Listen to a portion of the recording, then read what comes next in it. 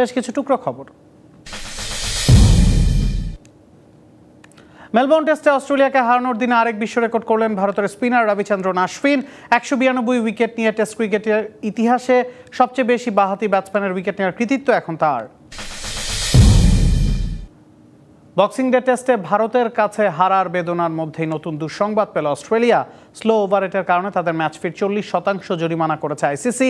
একই সঙ্গে টেস্ট চ্যাম্পিয়নশিপের চার পয়েন্টও খোয়ালো তারা। ক্যান্সারে আক্রান্ত হয়ে মারা গেছেন নিউজিল্যান্ডের সাবেক ব্যাটসম্যান জন ফুলটন রিড। আগামী শনিবার নিউজিল্যান্ডের তাই তাপুতে হবে তার শেষকৃত্য অনুষ্ঠান।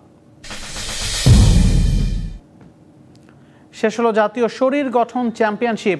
এনএসসি অডিটোরিয়ামে তিন দিনব্যাপী আসরে মোট তেরোটি ক্যাটাগরিতে অংশ নেয় প্রায় দেড় শতাধিক নারী ও পুরুষ প্রতিযোগী।